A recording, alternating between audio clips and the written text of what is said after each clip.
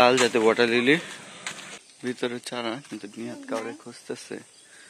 কেউ আছে কিনা? আহ, মূলা আর বেলার কিন্তু সময় প্রায় ঘনায় আসলো। চারাগুলা কিন্তু অনেকগুলা হইছে। মুরগির ছোট বাচ্চা যদি এরকম পায়খানা হয় আপনারা কি খাওয়ান? আমাকে একটু কমেন্ট করে জানাবেন অবশ্যই। আসসালামু আলাইকুম। আজকে সকালে আমরা হাঁটতে বের হইছি গুড মর্নিং ভিউয়ার্স কেমন আছেন আপনারা? তো আমরা সকাল সকাল হাঁটতে বেরিয়েছি খুবই স্নিগ্ধ পরিবেশ। ঘাসের উপর কুয়াশা পড়েছে।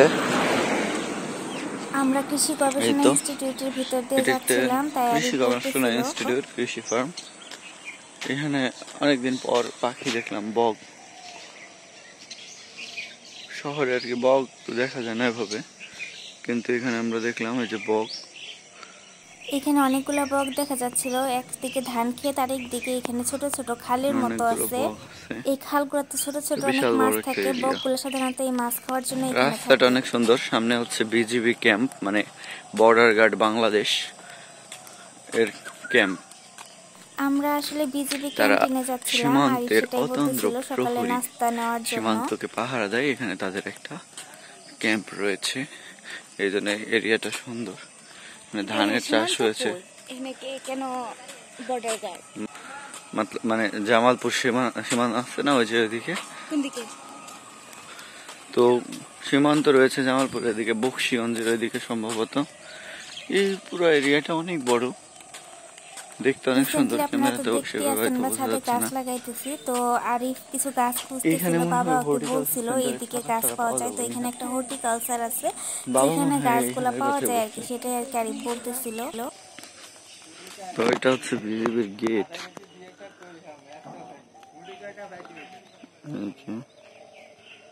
আমরা যাব। বিজেপি ক্যান্টিনে খুব সকালে ভালো একটা নাস্তা পাওয়া যায়। মেনলি আমরা ওইটাই নিতে যাব।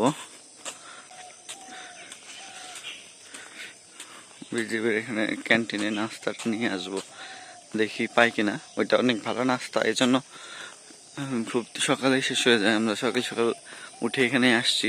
মেনলি আমাদের যাওয়ার কথা হচ্ছে ইসে ওই বাজারে। এইখানে হচ্ছে ডুমুর। এই তো আমরা যাব বর্ডার গার্ড বাংলাদেশ জামালপুর তো এইটা সামনে হচ্ছে পরমাণু কৃষি গবেষণা ইনস্টিটিউট মানে ক্ষুদ্র লেভেলের এখানে গবেষণা করে। ক্ষুদ্র লেভেল বলতে ডিটেলসে গবেষণা যেগুলো আছে, পরমাণু সেই গবেষণাগুলো করা হয় কৃষি বিষয়ক। তাছাড়া এখানে যে এই পাশে মৃত্তিকা ইনস্টিটিউট আছে, যেখানে মাটি নিয়ে গবেষণা করা হয়। সামনে লাল জাতে ওয়াটার লিলি মানে শাপলা ফুল। খুবই সুন্দর লাগতেছে। এই তো। শাপলা আমাদের জাতীয় ফুল। এটা অনেকে জানেন ইন্ডিয়ান অডিয়েন্সরা জানেন কিনা জানি না। ওটা হচ্ছে পরমাণু কৃষি গবেষণা কেন্দ্র। তার পিছনে আছে মৃত্তিকা গবেষণা মানে মাটি গবেষণা কেন্দ্র। এগুলো সবগুলো জামালপুরে অবস্থিত।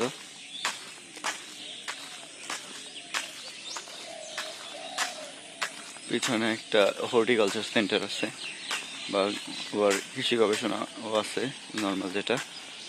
আর এটা হচ্ছে বিজিবির পাশে বিজিবি ক্যাম্প। তো বিজিবির অধিনায়কের বাসভবন।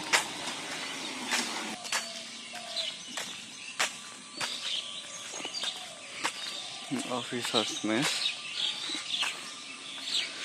এটা হচ্ছে অফিসার্স মেস। সামনে হচ্ছে ক্যান্টিন। তো সামনে ক্যান্টিন, ক্যান্টিনের ভিতরে যে দেখাবো। তো এখানে মেইনলি সকালের নাস্তাটা অনেক ভালো হয়। এখন ওই জন্য তাড়াতাড়ি শেষ হয়ে যায়, সাতটার আগে আসতে হয়।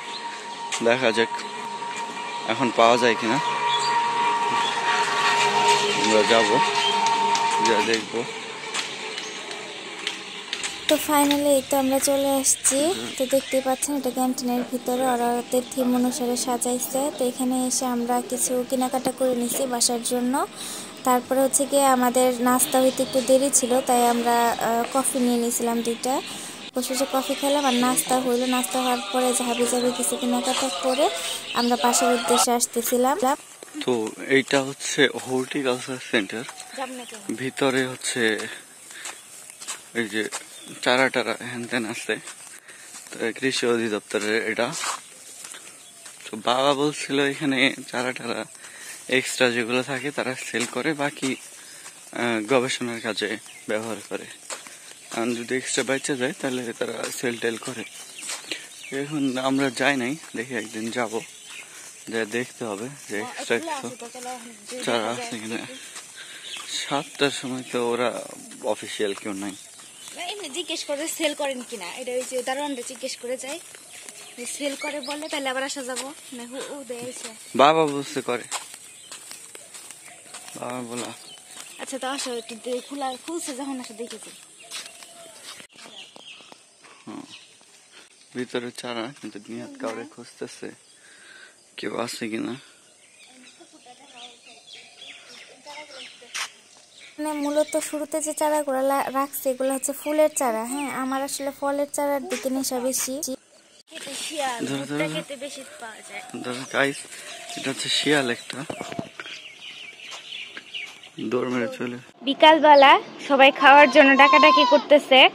আসলে ছাগলগুলা মানে একটা অভ্যাসে পরিণত হয়েছে ওরা হচ্ছে গিয়ে বুঝে আসলে কোন কোন সময় হচ্ছে ওদের খাবারের সময় কি সে সময়।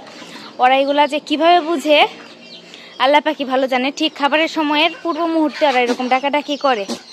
তো খাবার দিব, এখানে হচ্ছে কোকো আর ব্ল্যাকও হয়তো বা ওদের এই থালগুলা নোংরা করছে। তো এগুলো একটু ধুয়ে দিব। আর সবার প্লেট ঠিকই আছে। আর হীরার হাতটা মাসাল্লাহ যে ওই পাশের হাতটা, ওই পাশেরটা ঠিক আছে, অনেকটা ঠিক আছে। আর এই তো মূলা আর বেলার কিন্তু সময় প্রায় ঘনাই আসলো। এক চার মাস প্লাস হয়ে গেছে। প্লাস কি হয়েছে আজকে সাতাশ তারিখ। না, আঠাশ তারিখে মেবি পাঠা দেখানো হয়েছিল তো হচ্ছে গিয়ে আর একদিন বাকি আছে চার মাস হইতে। আরেকটা জিনিস আসেন আপনাদের দেখাই আমরা যে হচ্ছে গিয়ে সেদিন মানে চারা ফেলাইছিলাম সরি বীজ ইয়া করছিলাম। তো ওইখানে কিন্তু অলরেডি চারা হইছে হ্যাঁ? চারা হইছে, আসেন দেখাই। তো ভিউয়ার্স এই তো, দেখেন, চারাগুলা কিন্তু অনেকগুলা হইছে হ্যাঁ? এই যে এগুলা কিন্তু চারা, কিন্তু বুঝতেছি না কিসের চারা? শশার চারা কি না? বুঝতেছি না এগুলা। এই যে হইছে, এইটা হইতেছে, আবার এইটার ভিতরেও হইতেছিল হ্যাঁ? আরিফ দেখাইলো কোন কোন জায়গা জানি? এই যে টবে যেখানে লাগাইছে, দেখেন এটা হইতেছে। যে একটা হইছে, এই যে একটা, এই যে একটা হ্যাঁ এগুলা হইতেছে, এই যে হ্যাঁ।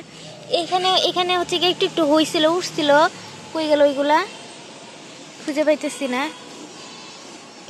এই যে একদম ছোট, দেখতে পাচ্ছেন? এই যে হইছে। তো মনে হয় যে আরও আর দুই একদিনের মধ্যে সবগুলা চারা একদম উঠে যাবে হ্যাঁ। আসলে শশার চারা কিনা এগুলা?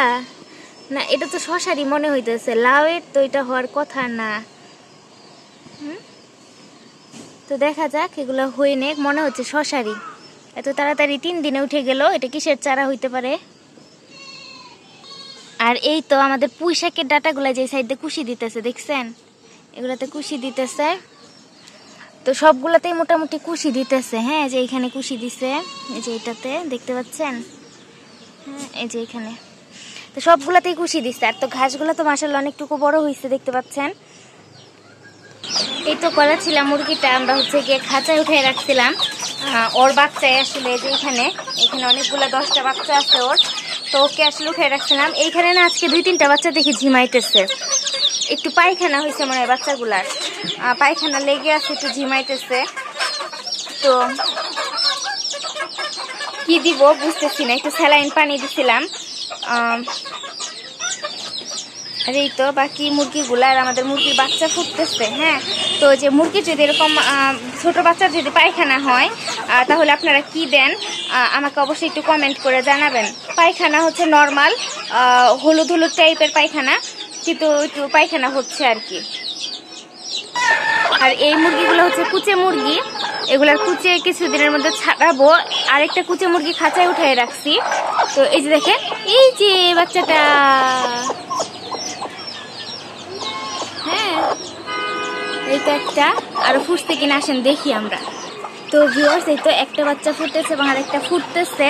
আরও দুই একটা ডিম এখানে ফুটা হয়েছে তো দেখা যাক কখন কখন এগুলো ফুটে বের হয়। তো ভিউয়ার্স এই তো আমার বাচ্চাগুলা, এখানে লাইসোভিট আর অ্যামক্সিসিলিন মেশানো পানি আছে। আর এই তো বাচ্চাগুলা। তো আপনারা হচ্ছে কি মুরগির ছোট বাচ্চা যদি এরকম পায়খানা হয়, আপনারা কি খাবার, কি খাওয়ান, আমাকে একটু কমেন্ট করে জানাবেন অবশ্যই হ্যাঁ।